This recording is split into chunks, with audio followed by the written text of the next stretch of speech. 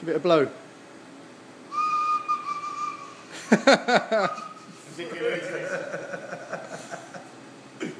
Lovely.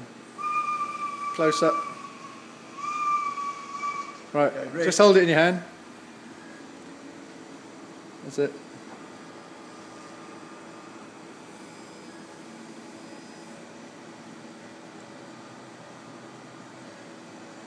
Well, that's it.